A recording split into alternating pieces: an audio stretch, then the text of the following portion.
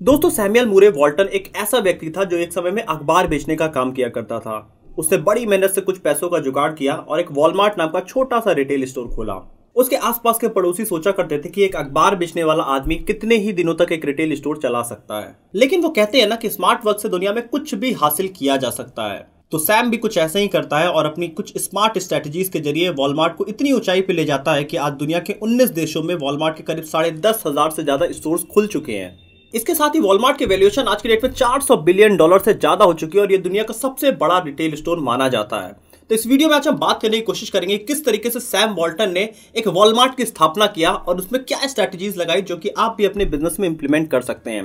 हम ऐसी उसकी बेसिक स्ट्रैटेजीज के बारे में बात करने वाले हैं और कुछ स्मार्ट स्ट्रैटेजीज भी समझेंगे, जिससे कि सैम वॉल्टन ने दुनिया के सबसे बड़े रिटेल स्टोर को बनाने की शुरुआत किया। दोस्तों, आइए इस वीडियो को शुरू करते हैं। इसमें आपके बिज़नेस के लिए काफ़ी सारी लर्निंग्स है। तो इस वीडियो को स्किप मत करिएगा। हेलो दोस्तों, मेरा नाम है दीपक, आप देख रहे हैं डिस्टॉर्ट तो अगर हमें वॉलमार्ट की बिज़नेस स्ट्रेटजीज को समझना है तो हमें पहले सैम वॉल्टन के कुछ बैकग्राउंड को समझना पड़ेगा। अमेरिका के किंगफिशर शहर में रहने वाले सैम के बचपन के दिन काफ़ी गरीबी में गुजरे, जहाँ सैम अपना और अपने परिवार का पेट भरने के लिए और अपनी पढ़ाई पूरी करने के लिए अक्सर कई सारी छोटी छोटी जॉब्स किया करता था। जैसे अर्ली मॉर्निंग अखबार पहुंचाना, गायों का दूध निकाल कर बेचना, दिन के वक्त रिटेल स्टोर पर काम करना और अगर इससे भी खर्च नहीं निकल पाता है तो शाम के समय वो रेस्टोरेंट पे वेटर की भी जॉब किया करते थे। अब ये सारी जॉब्स करना सैम के लिए उस समय काफ़ी मुश्किल था, लेकिन समय के साथ ही इन्हीं चीज़ों ने सैम को एक काफ़ी बड़ा बिजनेसमैन बना के दिखा दिया। क्योंकि जब भी सैम इन छोटी छोटी जॉब्स को किया करते थे तो वो अलग अलग बिज़नेस के बैकग्राउंड के लोगों से मिला करते थे। और उनसे मिलने के बाद वो बिज़नेस के ऑपरेशन प्लानिंग मैनेजमेंट इन सब चीज़ों को वो काफ़ी बारीकी से समझने लगे थे, काफ़ी छोटी ही उम्र में। इसके साथ ही रिटेल स्टोर पर काम करने के दौरान सैम को रिटेल मार्केट की भी अच्छी खासी नॉलेज हो गई, जिसके बाद सैम ने अपनी 26 साल की उम्र में जॉब छोड़ के अपने फादर इन लॉ से कुछ पैसे उधार लिए और उससे उन्होंने बैन फ्रैंकलिन नाम के एक फ़ेमस स्टोर की फ्रेंचाइजी खरीद लिया, जिसके बाद सैम यहाँ पे बैन फ्रैंकलिन के नाम को अब किसी भी तरीके से यूज़ कर सकते थे। लेकिन यहाँ सैम के सामने अब कई सारी रेस्ट्रिक्शन भी आ गई थी कि उनको अपने स्टोर पे करीब 80 से 85 परसेंट जो सामान खरीदना होता था, वो बेन फ्रैंकलिन से ही खरीदना होता था। इसके साथ ही उनको मार्केटिंग पे भी काफ़ी सारे पैसे खर्च करने पड़ते थे, जिस वजह से जो उनका सालाना प्रॉफिट होता था, वो सिर्फ़ पाँच से छह परसेंट ही बचता था, जिससे सैम का रेवेन्यू सिर्फ़ बहत्तर हज़ार डॉलर तक ही हो पाता था। लेकिन मार्केट में जो बाकी प्लेयर्स थे, वो डेढ़ लाख डॉलर तक अपना रेवेन्यू जनरेट कर पा रहे थे। लेकिन सैम के यहाँ पे एक खास बात आपको ज़रूर सीखनी चाहिए कि उन्होंने अपने कंप्यूटर्स को देख के वो दुखी नहीं हुए। इसके बजाय वो वहाँ पे सर्च करने लगे कि मेरे कंप्यूटर्स ऐसा क्या तरीके यूज़ कर रहे हैं, जिस वजह से वो ज़्यादा सेल्स जनरेट कर पा रहे हैं और ज़्यादा रेवेन्यू उनके पास आ रहा है। बस फिर क्या था, सैम ने अपने फैसले को अंजाम देने के लिए मार्केट के रिटेल स्टोर्स को विज़िट करना शुरू कर दिया। सैम हर रोज अमेरिका के अलग अलग रिटेल स्टोर्स में जाते और वहाँ घंटों तक रुक के चीज़ों को ऑब्ज़र्व किया करते थे, जिससे कि एट द एंड सैम ने करीब तीन बिज़नेस की बड़ी स्ट्रेटजी समझी, जिसे आज भी वॉलमार्ट पूरी तरीके से यूज़ किया करता है। दोस्तों, इसमें सबसे पहला बिज़नेस लेसन आता है पावर ऑफ़ डिस्काउंटिंग इसको हम ऐसे समझ सकते हैं कि आप अपने प्रोडक्ट का प्रॉफिट मार्जिन इतना कम रख दीजिए कि आपकी बिक्री अपने आप बहुत ज़्यादा होने लगेगी। इसको हम ऐसे समझ सकते हैं कि अगर आप तीन सौ रुपए की टी शर्ट है, जिसमें आपको सौ रुपए प्रॉफिट मार्जिन है तो उसको अगर आप तीन तीन सौ रुपए का ईच बेचते हैं और आप उसको सौ लोगों को बेचते हैं तो आपको दस हज़ार रुपए का प्रॉफिट होगा। लेकिन वही टी शर्ट अगर आप ढाई सौ रुपए का बेचते हैं तो यहाँ पे आपका प्रॉफिट मार्जिन हो जाता है सिर्फ़ पचास रुपए। लेकिन अब आपकी टी शर्ट थोड़ी ज़्यादा सेल होगी। तो यहाँ पे अगर आपको 200 टी शर्ट सेल हो गई तो आपको भी प्रॉफिट बनेगा दस हज़ार रुपए का। तो दोनों केसेस में दस दस हज़ार के ही प्रॉफिट बन रहे हैं। लेकिन जब भी कोई कस्टमर आपके शॉप पे आ रहा है, वो टी शर्ट खरीद रहा है तो उसके साथ वो और सारी चीज़ें खरीद रहा है। तो पहले वाले सिनेरियो में सिर्फ़ 100 कस्टमर आके खरीद रहे हैं, दूसरे सिनेरियो में 200 कस्टमर आ रहे हैं। तो 200 कस्टमर और सारी चीज़ें भी आपके दुकान से ही खरीदेंगे। इसके साथ ही जब ज़्यादा कस्टमर आएँगे तो आपकी पब्लिसिटी ज़्यादा होगी और मार्केट में आपकी वैल्यू लगातार बढ़ती ही जाएगी। इस बिज़नेस लेसन का आपके लिए ये सबसे बड़ा एडवांटेज है कि जब आपके स्टॉक्स जल्दी मार्केट में बिकेंगे तो वहाँ पे आपके कस्टमर ज़्यादातर रेगुलरली आपके शॉप पे आएँगे, क्योंकि आपके नए नए स्टॉक्स और नई वेराइटीज मार्केट में आती रहेगी। इस बात को अगर हम इंडिया के ग्रोसरी सेक्शन में देखें तो इस समय कई सारी कंपनीज़ लो प्राइस ब्रैकेट में आपस में फाइट करने की कोशिश करी है, जैसे कि डुंजो है जैप्टो है, या फिर ब्लिंकिट है। जिनमें से कोई भी कंपनी अभी तक सक्सेसफुल नहीं हुई है अपने कस्टमर्स को अपने साथ जोड़े रखने के लिए, क्योंकि इंडिया का कस्टमर प्राइस सेंसिटिव काफ़ी ज़्यादा है। लेकिन अगर यही ग्रोसरी सेक्शन में हम इसे ऑफलाइन मार्केट में जाके देखें तो कई सारी कंपनियाँ अभी काफ़ी ज़्यादा सक्सेसफुल है। जैसे कि अगर हम देखें तो सेवन हेवन नाम का जो ब्रांड है, ये आपके लिए सुपर मार्केट्स बनाता है। और अभी तक कुछ ही सालों में इन्होंने करीब 10 लाख से ज़्यादा कस्टमर्स को सर्व कर दिया है। 50 से ज़्यादा शहरों में और इनके 200 से ज़्यादा इस समय फ्रेंचाइजी इन्होंने सुपरमार्केट से खोल दिया है। मतलब अगर किसी को अपना सुपरमार्केट बनाना है तो ये आपके लिए कंप्लीटली बिल्ड करके देते हैं। अब ये कंपनीज़ क्यों सक्सेसफुल है ऑफलाइन वाली? क्योंकि ये कस्टमर को जेन्युन चीज़ें प्रोवाइड करने में ज़्यादा फोकस करती हैं। तो आप अगर लो प्राइस ब्रैकेट में जाते हैं तो आप फेल हो सकते हैं। तो यहाँ पर आप एक का एक सक्सेस होने का काफ़ी बड़ा चांस हो जाता है। तो अगर आप लो प्राइस ब्रैकेट को छोड़ के कस्टमर को बेटर सर्व करने में फोकस करते हैं तो वहाँ पे इंडिया में सक्सेस होने के ज़्यादा चांसेस हो जाते हैं। तो अगर आपको भी अपना सुपर मार्केट बनवाना है, आप भी अपना सुपर मार्केट स्टार्ट करना चाहते हैं तो आप सेवन हेवन की फ्रेंचाइजी ले सकते हैं। इसका लिंक हमने डिस्क्रिप्शन में दे दिया है। आप भी अपना सुपर मार्केट शुरू कर सकते हैं, क्योंकि लोग अपनी डे टू डे लाइफ की चीज़ें तो खरीदेंगे चाहे रिसेशन आ जाए, चाहे कुछ भी स्थिति आ जाए। क्योंकि आपने कोविड पेंडेमिक भी देखा था कि सबसे ज़्यादा ग्रोसरी सेक्शन नहीं कमाया था। तो दोस्तों, आइए वीडियो में वापस आते हैं। और तीसरा बेनिफिट यहाँ पे ये हो जाता है कि जब आप होलसेलर से ज़्यादा प्रोडक्ट खरीद रहे होंगे, आप लगातार स्टॉक्स भरते जा रहे हैं अपने पास तो वो आपको मार्जिन भी थोड़ा ज़्यादा दे देगा, जिस वजह से आप कस्टमर से प्रॉफिट मार्जिन थोड़ा कम किए लेकिन होलसेलर के पास से आपका मार्जिन थोड़ा बढ़ जाएगा, जिस वजह से आप ओवरऑल प्रॉफिट में ही जाने वाले हैं। और यही सैम वॉल्टन के साथ भी होता था, जहाँ दूसरे रिटेलर्स एक प्रोडक्ट के करीब बीस हज़ार स्टॉक्स खरीदा करते थे, वही सैम वॉल्टन उसी प्रोडक्ट के करीब चालीस हज़ार से ज़्यादा स्टॉक्स खरीद लिया करते थे, जिससे दूसरे रिटेलर्स को उस प्रोडक्ट की कॉस्ट प्राइस दो डॉलर पड़ती थी तो वहीं डिस्काउंट पे दस परसेंट के साथ सैम की कॉस्ट करीब पॉइंट एट डॉलर ही पड़ती थी। जिसके बाद दूसरे रिटेलर्स इस दो डॉलर के प्रोडक्ट को चार डॉलर में बेचा करते थे और वहीं सैम वॉल्टन इसे थ्री पॉइंट फाइव डॉलर में ही बेचा करते थे। और दोस्तों, आपको यकीन नहीं होगा, लेकिन सैम के इसी बिज़नेस मॉडल के दम पे आज वॉलमार्ट इतना आगे आ चुका है। आज के टाइम में जहाँ दूसरे रिटेलर्स होलसेलर्स किसी भी प्रोडक्ट की करीब बीस हज़ार यूनिट ही खरीदते हैं, वहीं सैम उस सेम प्रोडक्ट की करीब दो मिलियन यूनिट खरीद लिया करते हैं। ऐसे में होलसेलर बीस हज़ार यूनिट खरीदने वाले रिटेलर को दो डॉलर का प्रॉफिट रखकर सामान बेचता है। जिससे होलसेलर को करीब टोटल चालीस हज़ार डॉलर का प्रॉफिट होता है। और इस तरह से उस रिटेलर के लिए उस पर्टिकुलर प्रोडक्ट की कॉस्ट हो जाती है पाँच डॉलर इसके बाद अगर हम वॉलमार्ट के केस में देखें तो वहाँ पे जो होलसेलर है, वो सिर्फ़ आधे डॉलर का ही प्रॉफिट मार्जिन रखता है वॉलमार्ट से। लेकिन वॉलमार्ट करीब दो मिलियन डॉलर से ज़्यादा का प्रोडक्ट खरीदती है। तो यहाँ पे जो टोटल उनको प्रॉफिट हो जाता है होलसेलर को, वो एक लाख डॉलर का हो जाता है। और इस तरह से वॉलमार्ट के लिए उस पर्टिकुलर प्रोडक्ट की कॉस्ट बन जाती है सिर्फ़ साढ़े तीन डॉलर वहीं जब रिटेलर इस प्रोडक्ट को खरीद चुका है पाँच डॉलर का तो वो दो डॉलर का यहाँ पे प्रॉफिट रख के वो सात डॉलर में बेचता है। तो यहाँ पे वॉलमार्ट अपना प्रोडक्ट सिर्फ़ 4.9 डॉलर में ही बेच देता है। तो यहाँ वॉलमार्ट का जो टोटल कॉस्ट आ गया बेचने वाला, वो यहाँ पे बाकी रिटेलर्स के जो खरीदने वाले कॉस्ट है, उससे भी ज़्यादा सस्ता हो गया।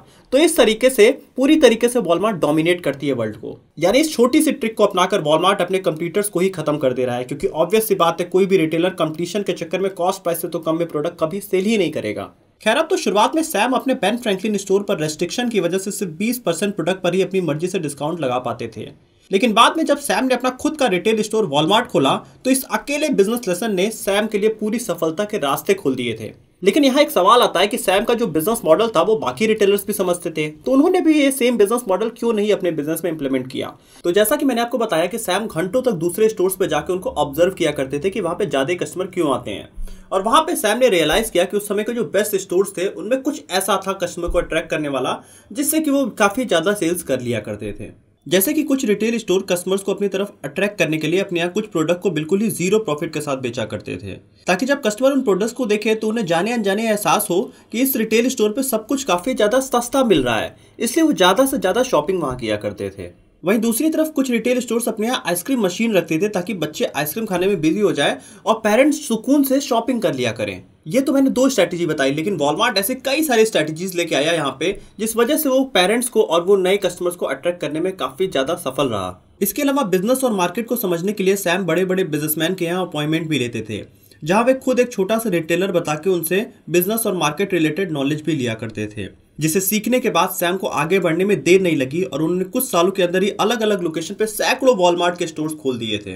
लेकिन अब सैम के साथ जो बड़ी प्रॉब्लम थी कि जब सैकड़ों स्टोर्स खुल गए हैं तो सैम उसको मैनेज कैसे करेंगे? क्योंकि उनको अलग अलग स्टोर्स पर अगर वो जाते विज़िट करते, वहाँ पे कंप्यूटर एनालिसिस करते, वहाँ पे कस्टमर्स की डिमांड को समझते तो ये पॉसिबल नहीं होने वाला था। तो इसको सॉल्व करने के लिए सैम ने एक ऐसा रास्ता निकाला जो उनके सक्सेस का तीसरा सबसे बड़ा बिज़नेस लेसन मिला, जो कि एक है टीम मैनेजमेंट सैम ने सबसे पहले अपनी सभी स्टोर्स के मैनेजर को उनके वॉलमार्ट रिटेल स्टोर का कुछ परसेंट का मालिक बना दिया, जिससे मैनेजर्स वॉलमार्ट को अपना समझने लगे और उसे आगे ले जाने के लिए पूरे मन से काम करने लगे।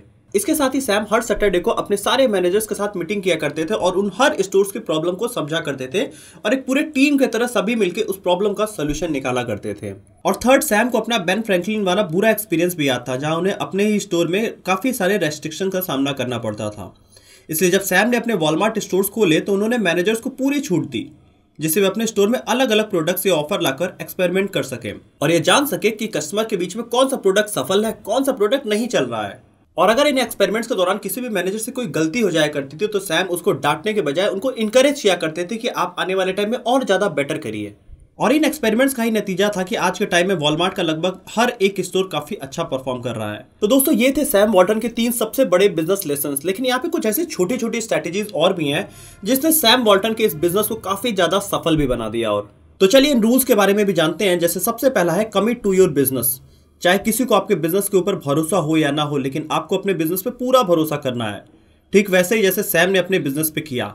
और आप अपने बिज़नेस को, अपने काम को प्यार करोगे तो नेचुरली आप उसे बेहतर बनाओगे। और एक ना एक दिन आप उसमें ज़रूर सफल हो जाओगे। यही मॉडल यहाँ पे सैम ने भी यूज़ किया था अपने साथ। दूसरा रूल है एक्सीड योर कस्टमर एक्सपेक्टेशन इसका मतलब आपका जब भी कस्टमर आता है तो उसको पहले आप बेहतर से बेहतर प्रोडक्ट दीजिए। इसके साथ ही आप कस्टमर को कुछ फ्री प्रोडक्ट्स भी दे दीजिए, ताकि कस्टमर आपका डिलाइटेड हो जाए यहाँ पे। जैसे कि हम इसको ऐसे समझ सकते हैं कि अगर आपने अपने स्टोर में बच्चों के खेलने का स्पेस प्रोवाइड कर सकते हैं, या फिर बड़े बुज़ुर्गों के बैठने की व्यवस्था कर सकते हैं। ऐसा करने से कस्टमर्स की एक्सपेक्टेशन आपसे बढ़ जाएगी। और जब उन्हें ये सुविधाएँ दूसरे स्टोर पे नहीं मिलेगी तो वो उनका एकमात्र सोल्यूशन होगा आप ही का स्टोर, और वो आप ही के यहाँ ही हमेशा आएँगे। यहाँ तीसरा रीजन आ जाता है बिहेवियर आपने बहुत सारे स्टोर्स में देखा होगा कि जो स्टाफ होते हैं, वो कस्टमर के साथ अच्छा बिहेव नहीं करते हैं। और अगर कस्टमर के साथ एक बार अच्छा बिहेव नहीं हुआ तो कस्टमर लौट के आपके स्टोर पर कभी वापस नहीं आने वाला है। तो ये रूल आपको हमेशा फॉलो करना है। आपको कस्टमर के साथ हमेशा वेल बिहेव्ड रहना है, जिससे कस्टमर को कंफर्टेबल फील होगा और वो बार बार आपके ही स्टोर पर शॉपिंग के लिए आएँगे। रूल नंबर फोर कहता है अप्रिशिएट अगर आपको अपने बिज़नेस को बहुत आगे ले जाना है तो अपने आपको स्टाफ्स को, इसके साथ ही मैनेजर्स को आपको हर समय अप्रिशिएट करना होगा। उसको आपको बढ़ावा देना होगा कि आप अपना काम अच्छा कर रहे हो और आप इससे भी और ज़्यादा अच्छा कर सकते हो।